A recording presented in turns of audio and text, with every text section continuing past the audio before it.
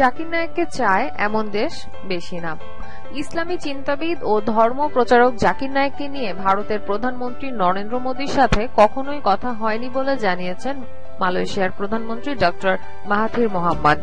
একই সাথে তিনি জানিয়েছেন, জাকির নায়েককে চায় এমন দেশ খুব বেশি নেই। ভ্লাদিভস্টকের ইস্টার্ন ইকোনমিক ফোরামে নরেন্দ্র মোদীর সাথে কথা হলেও জাকির নায়েকের বিষয়ে কোনো কথা হয়নি বলে জানিয়েছেন ডক্টর মাহাথির মোহাম্মদ।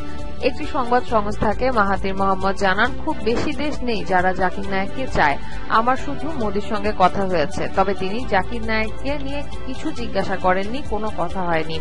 এদিকে দুই প্রধানমন্ত্রীর সাক্ষাতের কথা জানিয়ে ভারতের পররাষ্ট্র মন্ত্রণালয়ের মুখপাত্র বিজয় গোখলে বলেছেন, প্রধানমন্ত্রী মোদী জাকির নায়েকের বিষয়টি নিয়ে সরব হয়েছেন। দুজনই সিদ্ধান্ত নিয়েছেন, এই গুরুত্বপূর্ণ বিষয়ে মালয়েশিয়া নতুন দিল্লির সঙ্গে যোগাযোগ রাখবে। দু হাজার ষোলো সালে ঢাকার হোলি আর্টিজানের জঙ্গি হামলায় বিদেশিদের হত্যা করে জঙ্গিরা। ওই হামলার জঙ্গিরা পিস টিভিতে জাকির নায়কের ভাষণ থেকে অনুপ্রাণিত হয়েছিল বলে সে সময় অভিযোগ ওঠে। পিস টিভিকে ঘিরে বিতর্কের মাঝে দুই হাজার ষোলো সালে মুম্বাই ছেড়ে সৌদি আরব চলে যান জাকির নায়েক। তার বিরুদ্ধে জারি হয় পরোয়ানা, বন্ধ হয় পিস টিভির সম্প্রচার। সৌদি আরব থেকে পরে মালয়েশিয়ায় আশ্রয় নেন জাকির নায়েক। শেষ তিন বছর ধরে তিনি মালয়েশিয়াতেই বসবাস করছেন।